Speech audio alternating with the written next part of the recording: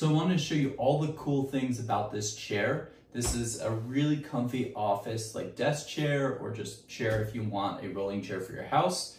So it has these nice padded armrests that just go up like this and then back down. The really cool thing about this is the backrest here. So this actually inflates by hitting a switch right here. So if I pop the lever, it pops back out and fully inflates. And then if I want to set it however I like it, I just push in, pop the lever down, and then it locks it into place. Another cool feature about this chair that sets it apart is the headrest. So you pop this up or I can adjust it to different levels. If I want it to be like one click up or two or three, and I could just move it up like this. It of course has the height adjustment, which is the lever at the bottom. And then I could also lean back or lock it out, depending what I want to do. And what's super unique about this as well is the wheels on this chair.